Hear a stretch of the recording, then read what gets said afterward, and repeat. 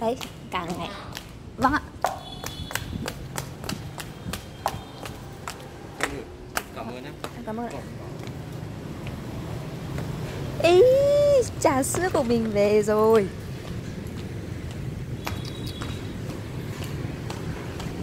Để đi mua tí đồ được lên. Đấy chân xe vặt đúng rồi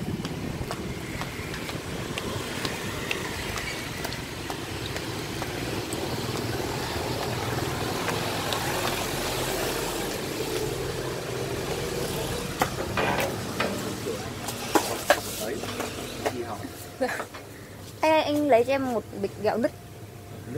Có có cái rong biển ấy. Bánh này thì bao nhiêu vậy anh? Những cái bánh trung thu này này. Đây là bánh dẻo chay hả anh? Đấy mười nghìn. Dẻo chay. À, trăm hai triệu mười nghìn một cái này hôm nào mua cho mẹ em mẹ em khoái khoái kiểu không có nhân. Đấy, nhân với cả bánh toàn như đậu xanh không dễ ăn mà cái bánh to ấy cái này 20 nghìn hả? Ăn gì Ôi trời, kịp bán đưa đúng tiền. Em mua dù vẫn đưa đúng tiền đấy. Ui, ui.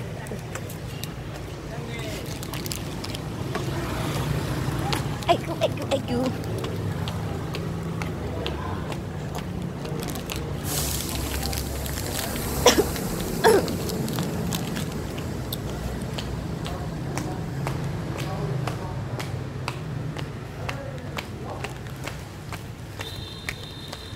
Ừ, hôm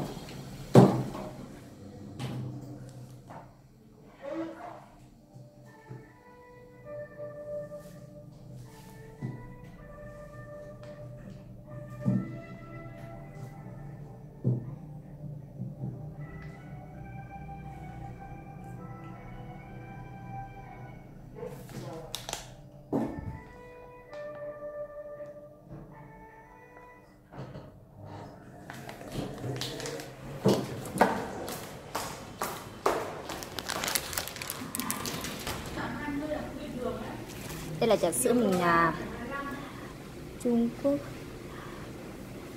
Cái này mình, à, mình săn sale có mua có một nghìn thôi. Ship mất năm nghìn nữa. Nó ship.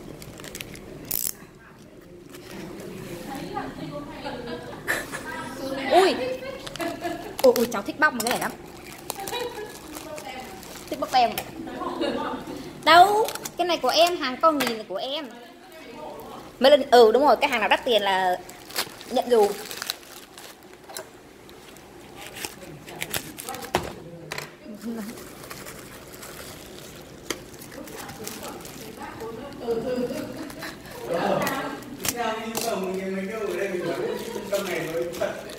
ô, kiểu kiểu cũng như mình ấy, ngồi rảnh không biết làm gì đặt hàng ấy.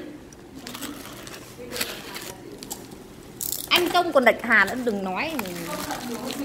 Anh công đặt hàng xịn thôi. Còn em đặt hàng toàn một nghìn thôi.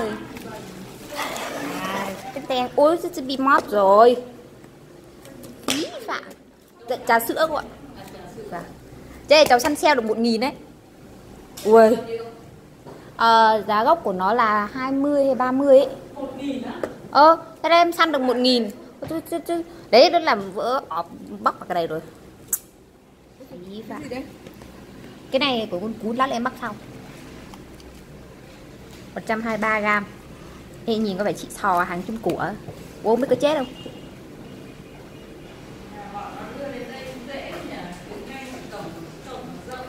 Vâng, nó cứ đứng đấy nó gọn một phát một lũ xuống xong rồi mang lên.